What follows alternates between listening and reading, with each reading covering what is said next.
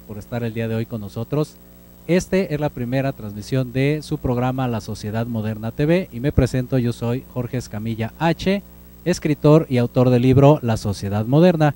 Y la intención de este programa básicamente es por medio de diferentes invitados a los cuales eh, van a acompañarnos durante cada programa, ellos cuentan con cualidades y experiencias extraordinarias.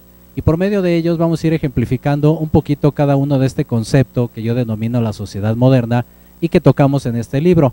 Más o menos para que se den una idea que puede ser, pues, las diferentes generaciones, ¿no? La generación X, la generación de los millennials, la generación Z.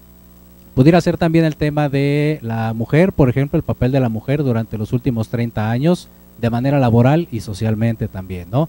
La cuestión de la educación, me parece que es algo muy importante y qué bueno que en este caso de GES Media nos brinde esta oportunidad para poder explicar, en este caso, a docentes, alumnos y a padres de familia este tipo de conceptos. Sobre todo porque pudiera ser que son los mismos temas, de repente como muy choteados, el tema de las redes sociales, de la tecnología, pero muchas veces nos hace falta verlo desde la perspectiva del alumno o, o del joven, en este caso, y también de los papás porque la preocupación es diferente o el interés es diferente, ¿no? Por ejemplo. Entonces, ¿cuál es la intención de este programa? Que sea completamente cultural, que se lleven algo positivo y por ende que compartan también sus experiencias. Si ustedes gustan también en redes sociales, pueden hacerlo. Me encuentran como Jorge Escamilla H y eh, obviamente con el hashtag La Sociedad Moderna TV para que nos den sus comentarios y sugerencias.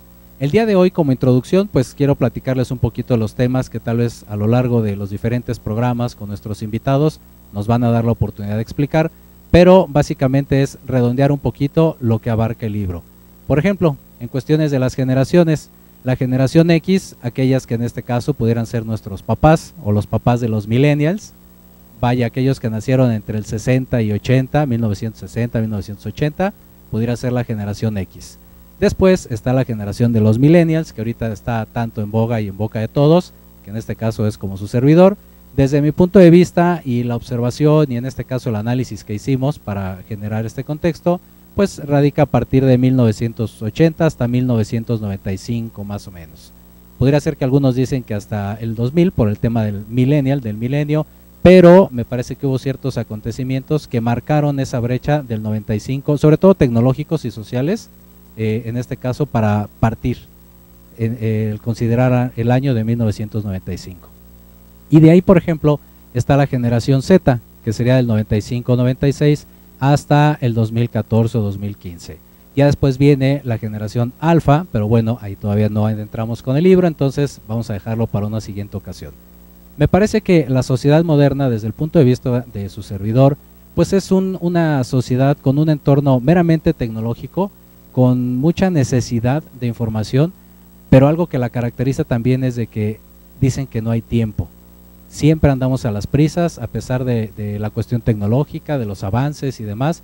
Entonces, me parece que es un espacio interesante para poder compartir experiencias y por ende saber realmente si así es como está denominada la sociedad moderna. Entonces, el día de hoy vamos a hacer una retrospectiva y vamos a ver en este caso cómo éramos los estudiantes, los millennials, en la época de, pues no sé, vamos a ponerlo primaria y secundaria, versus la generación Z, que son los chicos que están estudiando actualmente, ¿no?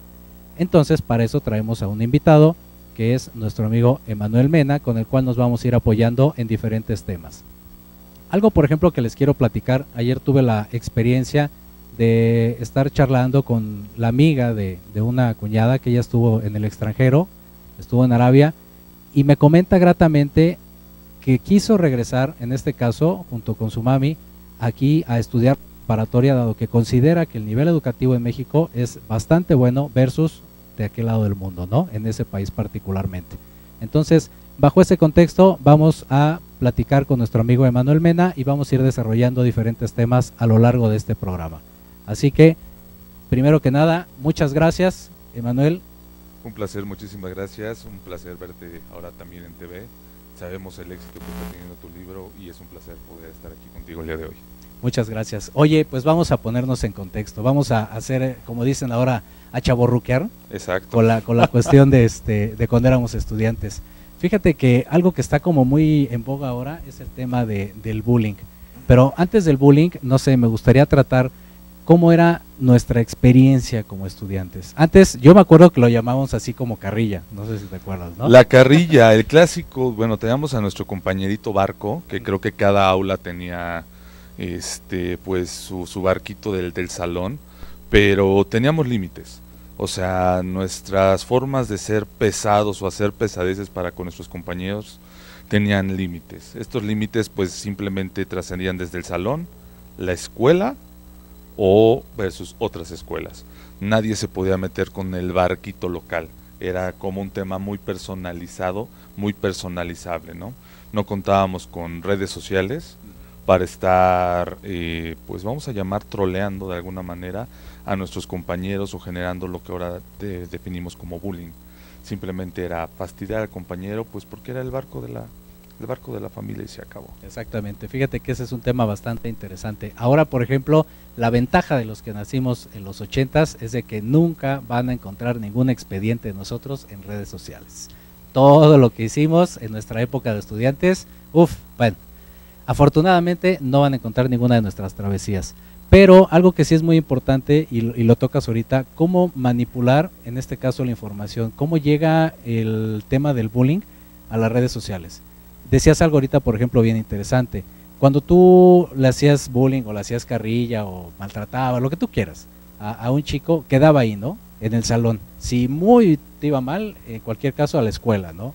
O no sé, tal vez la típica pelea que era atrásito de la escuela. Y Exacto. hasta ahí quedaba. Pero ahora con el tema de la tecnología se difunde de manera increíble y lo peor del caso es de que llegas psicológicamente, ya no nada más físicamente, sino psicológicamente a maltratar en este caso al, al buleado, ¿no? Vamos a ponerlo ahora. Exactamente, digo, creo que hoy en día a las personas que hacen el bullying o los bullers, eh, tenemos datos un poco deprimentes, vamos a llamarlo deprimentes, porque eh, dentro del Departamento de Desarrollo de IESCAN México tenemos información que, que nos altera. Si bien es cierto, más del 55% de la población nacional ya porta un teléfono inteligente, llámese de la marca, modelo, color que tú quieras distinguir, pues la juventud hoy en día, pues desde la secundaria o hay niños desde la primaria que ya portan un, un, teléfono inteligente. ¿Qué tan triste puede ser el tema que en vez de separar a los compañeros, pues todos en automático sacamos el móvil y nos ponemos a grabar si están siendo golpeados, si están siendo pues buleados, ¿no? Ya no hay un límite. Tal parece que el récord hoy en día es quiero ser famoso dentro de mi secundaria, pues voy a subir cómo se pelea fulano y sultano o cómo estoy hostigando al, al que ya no es el barquito local. Ya lo generamos de una manera tal que pues perdón, existen sitios o tribus dentro de nuestras redes sociales que tenemos documentadas, que perdón, va desde, mira cómo golpeamos a Sultanito, mira cómo molestamos a Perenganito, o lo que platicamos, o lo que platicábamos hace días, ¿no? Tal vez hasta los packs. Hoy en día basta y sobra meterse a Facebook para encontrar cualquier infinidad de cosas con el tema de ciberbullying que ya trasciende, o sea, ya no se quedó en noticia local o en una pelea de secundaria ¿no? Ya tras, trasciende la red social y pues qué deprimente. Sí, la verdad es que sí. Fíjate que te voy a platicar una experiencia, les voy a comentar, por ejemplo, yo me acuerdo que hace poco yo estaba, o bueno, estuve trabajando mucho tiempo en el mundo de los godines, en la cuestión empresarial, propiamente en el segmento de tecnología, y una vez saliendo de una comida eh, con varios amigos, varios compañeros de trabajo, me tocó, estaba cerca una secundaria, y déjame decirte que era una escena bien triste porque estaban los chicos haciendo la típica bolita, ¿no? Ya sabes, para, para el ring, para la pelea. Pero, como bien mencionas, el tema del celular, uno, o sea, estaba bardeado por celulares a más no poder. Entonces te acercas, por curiosidad, porque era inmensa la cantidad de chicos que había ahí. Y entonces, ¿de qué me di cuenta? De que estaban entre cinco chicas, entre cinco chicas golpeando a una que traía mochila, o sea, estaba completamente indefensa en este caso, ¿no? Y la, malicia, la hazaña con que lo hacían era increíble. Y había gente adulta, ¿eh? déjame decirte que había gente adulta ahí que, que estaba observando y viendo y, y, chismeando y demás, pero no hacían nada por, por evitar la pelea, ¿no? O sea, es más, actualmente en muchas ocasiones el morbo que genera o, el tener la primera transmisión de la pelea de la escuela no sé qué o en la calle no sé cuál, que, que, apoyar, en este caso al que ves que ya de plato pues no reacciona, ¿no? Entonces, inmediatamente los compañeros y yo pues fuimos a, auxiliar a esta chica, nos metimos a quitarlas propiamente de la bolita que tenía y bueno, la chica salió corriendo despavorida, o sea, completamente. Y el coraje que tenían las, las chicas, las estudiantes que estaban golpeando a la, a la pobre niña, o sea, de veras que es increíble cómo puede llegar en un momento tanta maldad y tanta frustración en un solo ser humano, ¿no? Es, es sorprendente, digo, realmente lo que platicábamos, eh, pues al final del día, yo me acuerdo las peleas, digo, cabe destacar, yo soy también egresado de una escuela secundaria técnica, y pues teníamos como nuestros pequeños códigos, vamos a llamarlo así, ya teníamos nuestros códigos, que era, a ver, si yo me iba a pelear con Juan Pérez, era Juan Pérez y Emanuel Mena, no se podían meter los demás. Si se metía un tercero, un amigo se metía y es así como se iba haciendo, era uno a uno. Acto seguido, cuando nos llegaban a agarrar los prefectos, ¿es que pasó? Nada. ¿Por qué se pelearon? Por nada. Y todo quedaba entre nosotros. Exacto. O sea, era un quien haya ganado, ganó, quien haya perdido, perdió. Y muchas veces así es como se, se terminaba un conflicto severo. ¿sí? Cuando no servía el diálogo, cuando nuestras, vamos a llamar nuestras autoridades escolares, no lograban hacer que estuviéramos tranquilos, esa era la última salida, ¿no? Vámonos a la parte de atrás, ya tenemos una hora y vámonos. Una vez que pasaba esta escena, que era como el, el peor escenario, ahí quedaba. O el peor escenario era lo clásico, una escuela secundaria técnica contra una escuela diurna. Exactamente. Era como lo peor, era nuestra desbandada, no era de yo soy de una técnica y pues por ende pues vamos a irnos a pelear contra una diurna. Y todo quedaba ahí. Sí, sabes que eso es muy importante porque yo me acuerdo incluso que, como dices, estaba el típico barquito de ahí del salón, ¿no? Pero, insisto, que era como una especie de chismógrafo. Digo, para los que no sepan, era, vamos a ponerle una libreta, en este caso, que fue el, antecedente de Facebook o algo así, donde de MySpace, en donde, ¿qué hacíamos nosotros? Pues poníamos algunas preguntas. Bueno, nombres, si este, te gustaba alguna chica, te gustaba algún chico, este, si te gustaba algún deporte, no sé, cosillas así. Y entonces, a través de ahí, tú conocías a tus compañeros del salón propiamente, no llegaba más allá, ¿no? Entonces, esa era la intención de, de retroalimentar, en este caso, a tus compañeros respecto a información tuya. Y así era, por ejemplo, el tema de, de, la violencia con el bullying. Cabe mencionar que nosotros no estamos a favor de la violencia de ningún tipo, incluso este es un espacio cultural, educativo, pero es una realidad, así no, ahora sí que como diría en otro canal, así nos tocó vivir y aquí nos tocó vivir. Entonces, tristemente, ese era algo que pasaba en los años 90, incluso yo creo que hasta 2000 todavía, cuando todavía el auge de la tecnología no estaba tan, tan expuesto como, como ahora, ¿no? Entonces, yo me acuerdo que había muchos casos, por ejemplo, donde la típica de secundaria contra secundaria, como dices. Sí.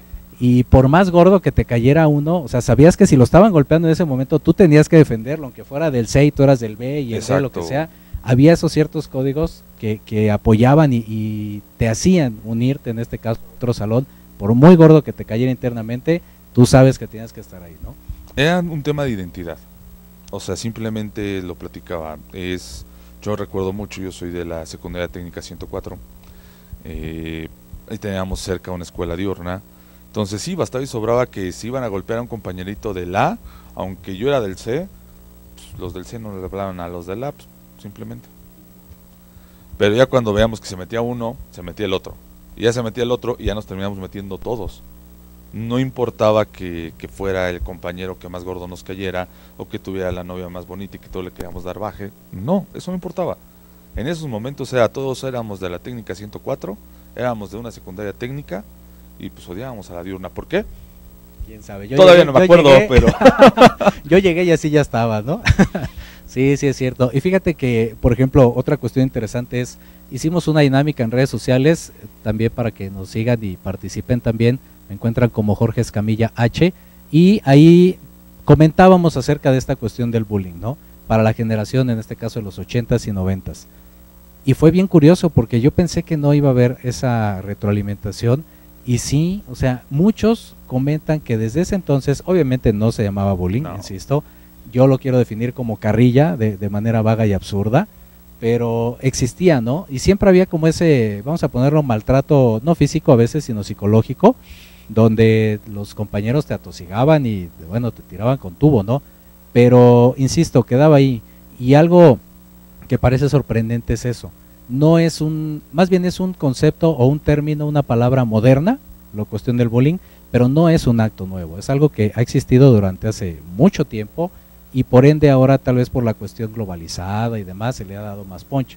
Sin embargo, es una conducta que, insisto, ya tiene sus ayeres y la cuestión de la carrilla, algunos me decían, por ejemplo, en redes sociales, es que el tema de la carrilla era más como entre amigos, ¿no? Por ejemplo, de que pues yo me llevaba contigo y te ponía un apodo muy típico y hasta ahí quedaba. O nos dábamos los apes o nos agarrábamos a la hora del recreo y ahí quedaba. Pero yo me acuerdo que a veces trascendía algo más. Entre los diferentes grupos podrías tener carrilla, vamos a decirlo más global o más grupal, pero no pasaba de ahí, no había esa malicia, o era de que ya eh, tenías algún conflicto con algún compañero, lo arreglabas hasta jugando fútbol si quieres en una cancha de frontón y se acabó. Y ahora, por ejemplo, el tema de la carrilla, estuve eh, en una escuela dando una conferencia y para empezar el término es, ¿qué es eso? no? O sea, carrilla es... Somos obsoletos. Somos obsoletos, completamente. Pero si les dices bullying, entonces pues lo asocian inmediatamente, ¿no? Entonces, ¿cómo, ¿cómo definirías tú en este caso o qué diferencias puede haber entre la carrilla y el bullying? Creo que es abismal, como lo hemos venido mencionando. O sea, nosotros eh, a nivel tecnología, a nivel informática, que es el área que dependemos con ISCAN y todo lo que venimos desarrollando, eh, tú lo acabas de decir. Eh, yo voy a poner un ejemplo. Yo en la secundaria teníamos un amigo que era como el puerquito local. También pues sus papás no ayudaron mucho porque eso de ponerle chayán a un compañero que medía un metro cincuenta, pues nos ayudaba perfectamente a poderlo molestar. Sin embargo, pues nadie se podía meter con chayán, más que nosotros como grupo, más que nosotros como amigos. Y además, pues bueno, el chavo tenía lo suyo. Era odioso. ¿Sí? Entonces, pues perdón, ¿no? Eh, ¿Qué es lo que pasaba? Pues efectivamente, ¿no? No pasaba que le pusiéramos un apodo, quisiéramos alguna maldad, o sea, perdón, lo, peor que llegábamos a hacer era, por ejemplo, pues, en deportes, bajarle el pantalón y esconderlos y que tú anduvieras en short o que te reportaran porque andabas en short fuera de fuera del área de deportes. Sí, sí, sí. Esconder la mochila. Sí. Lo clásico, bueno, en nuestro caso en la secundaria era como típico, si tú te descuidabas, pues, tu mochila podía acabar en un bote de basura, en cualquiera de los dos patios. Eso era lo, peor que podíamos hacer y era como, somos malos. Sí, sí, es cierto. Y hasta en el tema de los apodos, digo, el mexicano por ende siempre es como muy dinámico, siempre le encanta este, poner apodos a todo, ¿no? Pero, insisto, quedaba ahí. Yo, por ejemplo, fui a, otra escuela, una secundaria, y les platicaba, digo, no los voy a comentar para no herir susceptibilidades, pero muy típicos, ¿no? En este caso.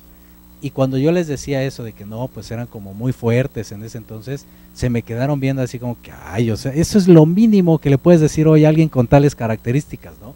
Entonces, insisto, están como muy revolucionados y tal vez la carrilla ya pasa a otro nivel cuando ya lo ves más allá de, un simple cotorreo, de un simple zape, de, de algo así entonces, me parece que ahí sí ya es cuando te vuelas la barda y ya llegas al tema del bullying. Y otra cosa muy importante, me parece que también nos tocó a nosotros, y no es que nos flagelemos ni nos hagamos mártires, pero la cuestión de, los maestros, por ejemplo, mm. tenían un papel bastante relevante en el tema de, de la carrilla o del bullying, como le quieran decir, pero sí me parece que influían bastante, por lo menos en el, en el salón de clases o en la periferia de las escuelas, ¿no? Pues yo creo que anteriormente al maestro se le respetaba. Y, o sea, qué grado de que sí era como el primero en fomentar en que a, uno los molestaran. Digo, yo voy a platicar un trauma personal 100%. Yo en mi vida escolar solamente reprobé una materia, que fue taller de computación. ¿Por qué lo reprobé? Porque en la secundaria donde yo estudié, solamente el taller de computación era para niñas. Entonces mi maestra de ese entonces, pues me cargaba batería, o me cargaba pila, o me hacía carrilla, porque decía, es que tú has de ser jotito. Todos los hombres están en carpintería, en dibujo técnico o en máquinas y herramientas. Sin embargo, yo me aferré, llegó el momento que tanto me molestaba mi maestra que decidí no entrar a la escuela. No entraba. Me tocaba taller, olvídenlo, no estaba. Pero fue una de las grandes detonantes. ¿A qué grado? Yo me acuerdo, nos llevábamos con los maestros. Ya cuando el maestro no aguantaba, él te podía, pues obviamente, perjudicar. Sí, te ponía el stop inmediatamente. Exacto. Pero fíjate que sí es cierto, ¿eh? el tema de, de la cuestión de, del respeto. Antes, por ejemplo, y, igual me tocó de que, no solamente a mí, digo, estamos hablando de una generación, te decía el, el maestro, ¿sabes qué? Pues está reprobado, ¿no? y entonces ibas con la mamá o con el papá, oye, pues mira que me reprobó y que no sé qué, y pues me mandó, te mandó llamar, ¿no? Era lo típico, de te mandó llamar ahí en la carpeta de reportes. Entonces era como lo peor en ese entonces. Pero, ¿qué pasaba? Yo me acuerdo que sin afán de, de, ser mala onda, simplemente los dos en su papel, tanto el maestro como los padres en este caso, fungían como una sola figura y, y era de autoridad precisamente. O sea, ellos dos estaban a favor de que uno como alumno pues tuviera un buen desempeño, ¿no? Y realmente si te merecías un castigo, si te merecías una mala calificación, pues el papá te decía, pues ni modo, dijo, échale ganas, ¿no? O sea, no queda de otra. Y el maestro te decía, pues échale ganas y reponte y al siguiente trimestre vemos cómo le hacemos y pégale y dale y todo. Un trabajo extra. Exactamente. ayúdate para que te pueda pasar. Es correcto. Y ahora, por ejemplo, esto es algo que ha cambiado. Nos hemos dado cuenta, eh, insisto, a través de las pláticas, de, las diferentes charlas que hemos dado en escuelas y obviamente a través del estudio también que hicimos para generar el libro, de que en muchos casos ya el papá va, en este caso, a, apoyar al alumno, al, hijo, cuando no debería ser, cuando no tiene la razón, ¿no? Entonces ahora el maestro está como atado de manos, está muy limitado en cuestión de recursos, de, de llamar la atención. No estamos hablando de ser groseros ni nada, simplemente de de imponer su autoridad dentro de la escuela, que al final del día es un papel de autoridad dentro de la escuela. Entonces, me parece que eso ha cambiado, por ejemplo, con las nuevas generaciones. Eso es algo importante destacar y que no es nada más cuestión de los alumnos, porque, insisto, traen el respaldo de los padres que dicen, oye, ¿por qué le está haciendo bullying a mi hijo y lo reprueba? ¿no? Entonces, yo creo que no va por ahí la cosa. Debería de unirse, como en ese entonces, y buscar en este caso el, beneficio común, que es que el alumno que el hijo aprenda en este caso. ¿no? Yo creo que es como el, top a lo que debemos de llegar. Y modernizarnos en los castigos y modernizarnos en, estar al pendiente de los temas. Creo que hoy en día efectivamente tenemos grandes herramientas. Sin embargo, eh, pues igual antes de, venir a tu programa hacíamos una pequeña encuesta y analizábamos, es tú qué tan al pendiente estás de tu hijo. ¿Tu hijo tiene un teléfono móvil? Sí. ¿Por qué se lo diste? Pues para marcarle y saber dónde está. ¿Y qué hace tu hijo con el teléfono? Déjame, te platico que dentro de las investigaciones que tenemos con el equipo de ISCAN, pues resulta ser que nosotros que estamos en Facebook empezamos a ser obsoletos. Los jóvenes de hoy en día se están conociendo, se están tratando y están creciendo a través de Snapchat. O sea, lo que en nuestra época las herramientas como Badu, como Tinder, era como, pues, soy soltero y no salgo y necesito rifarme para salir del, de, la soltería, las ocupábamos. Hoy en día no, hoy el día un Snapchat, hoy en día estas herramientas son para conocerse y también para estar efectuando bullying. Sí. O sea, es increíble, o sea, ya no nada más se queda en el Facebook. No el Facebook, pues desde que, como comentó una señorita de 15 años, yo dejé de usar mi Facebook en el momento que vi que mi mamá tenía Facebook. Sí, como que te empezaba a controlar a la distancia y dices, no, ya no va, ya, ya, no. no me sirve entonces y necesitan, entre comillas, pues más eh, eh, diversidad, más, más opciones para poder expresarse. ¿Sabes cuál es el detalle, por ejemplo, ahora también, quitando un poco el, tema de, del bullying, la cuestión de la expresión en, las nuevas generaciones? Antes era como muy bonito el tema de escribir una carta, ¿no? Para la novia. Y, te inspirabas y, y, la hacías en borrador y lo que sea. Y ahora, por ejemplo, pues uno entre comillas, le quitas el amor con las faltas de ortografía de ese entonces, ¿no? Porque ya todo es el autocorrector y se acabó. Pero no solamente eso, sino la interacción entre las nuevas generaciones e incluso dentro de la familia con los papás, pues también cambia, porque se vuelve más dependiente de, los dispositivos electrónicos y por ende la oportunidad que tienen de platicar en el día a día se va aminorando. Algo muy común, por ejemplo, es en la comida. ¿No? En los restaurantes. Lo ves todo el tiempo, de que el niño anda por allá jugando y de repente los papás clavados todo el tiempo en el teléfono, viendo el video, viendo el meme, las redes sociales, etc. Regresa el niño, ya vámonos, hijo, ya, ya comimos y todo. Entonces, eso también, por ejemplo, ha cambiado los diferentes tipos de familia y el modo de comunicar me parece que también se ha modificado y es algo de lo cual debemos de considerar todavía las bases. Eso es muy importante, considerar todavía las bases que nos funcionaron a una generación atrás y por lo cual, digamos, hay un buen nivel educativo, hay una buena preparación y hay mucha gente bastante profesional en las empresas que quiere que las nuevas generaciones también conserven esos valores. Así es. Yo creo que todo va de la familia. Eh, si me lo permites hacer mención, pues precisamente nosotros como ISCAN México, pues tenemos herramientas y buscamos herramientas para ayudar. O sea, muchas veces uno escucha el, ay, ok, ya tengo el teléfono móvil, pero ¿cómo estás cuidando a tu hijo con el teléfono móvil? O sea, volvámoslo una herramienta de cuidado, una herramienta que acorte, decía mi padre en paz descanse, el teléfono debe de acortar distancias. Y en este caso nosotros lo estamos ocupando para abrir brechas. ¿Por qué? ¿Ya hablaste con tu hijo? Sí, ya le mandé en WhatsApp. ¿Y qué te ha contestado? Nada. Y hay Un. Ajá, exactamente. sí, eso es típico. Entonces, no sé, deberíamos de crear un poquito más de conciencia. En el tema de la escuela, por ejemplo, yo me acuerdo que también era muy común y, y más allá de verlo como una interrogante o, como una dificultad, yo por lo menos lo veía como una opción para esforzarme más. Cuando decía el maestro 10 para Dios, 9 ah. para los, eh, para los profesores, y de 8 para abajo ahí nos vemos. Entonces era como motivante el decir, a ver, a ver, si ya entregué esto, ya hice lo otro, ¿por qué no? Entonces le buscabas las herramientas, te esforzabas para sacar un buen examen, si era necesario, pues no sé, algún trabajo especial, platicabas con él, había más interacción en este caso con la finalidad de que aprendiera más el alumno, ¿estás de acuerdo? Así es, y número dos, nuestros métodos de investigación eran totalmente diferentes. O sea, si yo hubiera tenido Rincón del Vago hace muchos años atrás, la escuela hubiera sido muy fácil. Entonces era de, búscate el libro, sácale copias. Hoy en día es, métete a Wikipedia. Entonces, e, empecemos por ahí. O sea, tenemos que, que retomar, digo, platicando con, con, la directora de una editorial, que es editora los miércoles, una amiga, Maricruz Zamora. Ella me decía, la calidez del papel nunca la vamos a poder reemplazar por el brillo de una tableta. Exactamente. Entonces, pues creo que tú eres un claro ejemplo. Si hay algo que, puedo, que podemos presumir es que la sociedad moderna está en papel. Es correcto. No es digital, es papel. Sí, y fíjate que las nuevas generaciones sí me han dicho, oye, ¿y cuándo lo pones en digital? No, no, ahorita yo creo que no es el momento. Si lo quieren ver más como nostálgico esta onda de ponerlo en papel, por ahí puede ser. Pero efectivamente, yo creo que la cultura es algo que independientemente de la generación debe de seguir, debe de continuar. Y sobre todo aprovechar también, como dice, la cuestión tecnológica, ¿no? no es lo mismo los modos de difusión, por ejemplo, de antes para una obra de teatro que, ahora, ¿no? A través de las redes sociales, de las plataformas, de YouTube y todo lo demás, nos da apertura para conocer diferentes eventos o diferentes talentos, diferentes valores, escritores, artistas, lo que sea.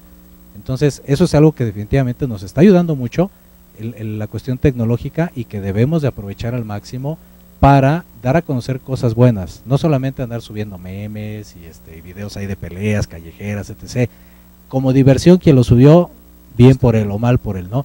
Pero ya como sociedad me parece que debemos de crear un poquito más de conciencia sin llegar a ser ese tío o ese papá regañón que todos ven así de que, ah, ya va a empezar con sus cosas. Yo creo que es una cuestión, insisto, cultural. La oportunidad de empezar a utilizar realmente la, la cuestión tecnológica con buenos usos para beneficio de la misma sociedad y que por ende pues nos permita también ser un, mejor país, ¿no? Claro, pues apenas lo vivimos y creo que tú y yo fuimos testigos. Las redes sociales bien implementadas, bien usadas, mueven al país.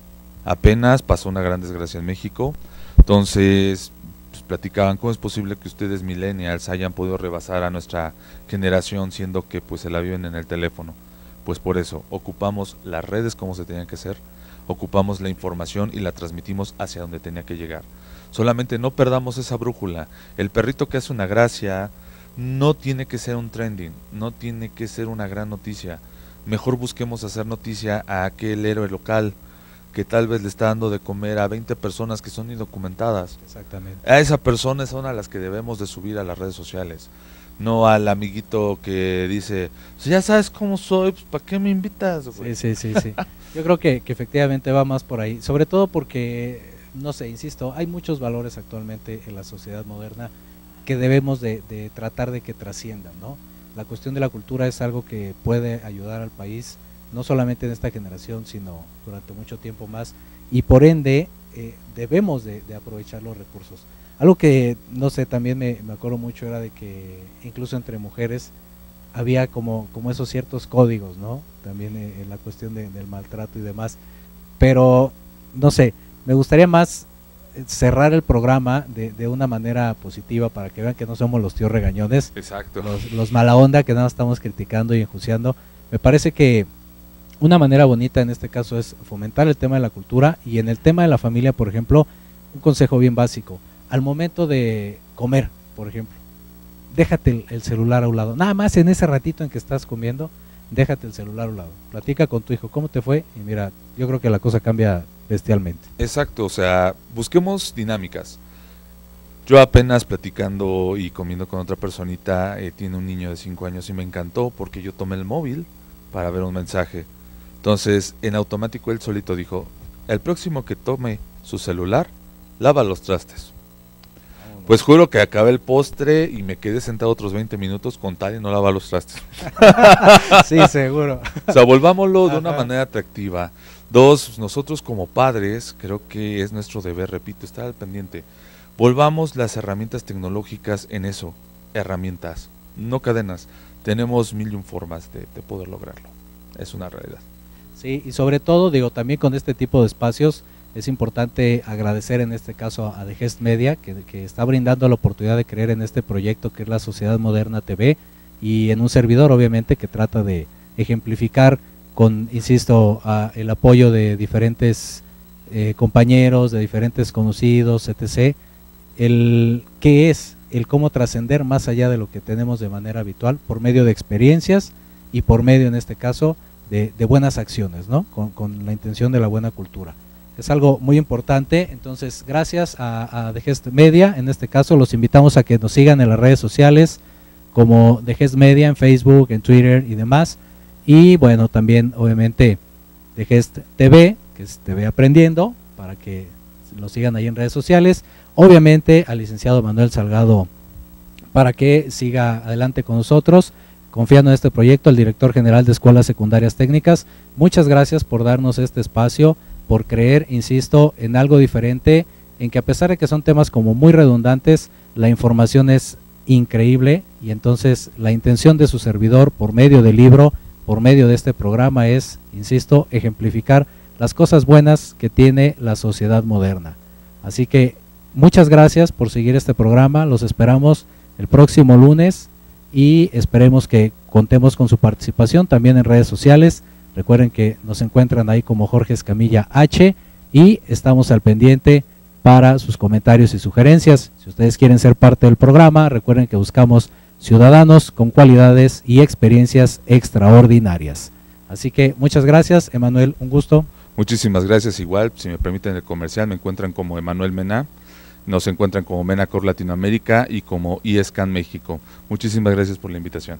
Un gusto y de nueva cuenta nos saludamos pronto. La Sociedad Moderna TV. Gracias.